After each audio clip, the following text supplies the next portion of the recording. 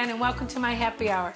Tonight I'm going to share with you one of my favorite summer drinks from one of my favorite spots in Italy. It's Florence. It's super easy. It's Prosecco, some Aperol, and some sparkling water. So it's three shots of Prosecco, which I just fill my glass up halfway.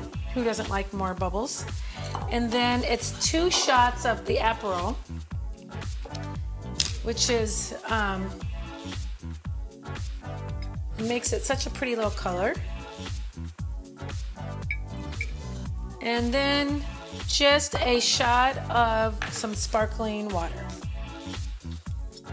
So easy, so refreshing. It takes me back to um, sitting near the water, waiting for our dinner. So then at the end, just add a little pretty orange slice, and there you have it. A really pretty festive summer drink.